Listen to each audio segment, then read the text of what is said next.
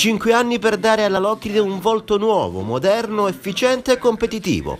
È l'obiettivo del Corsecom, il coordinamento delle organizzazioni sociali e culturali del comprensorio.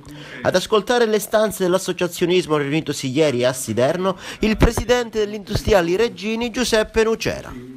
La Locride è un territorio ricco di cultura, di enogastronomia, di spiagge bellissime quindi è il territorio ideale per l'attività, per lo sviluppo del turismo, ma non è solo turismo, è tutto un insieme di risorse che questo territorio offre, per cui si può veramente puntare a fare turismo non solo nel periodo estivo, ma tutto l'anno.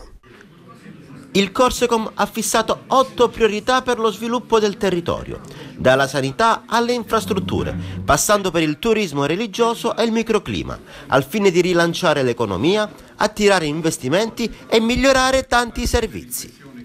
Ilario Balì, per la C News 24.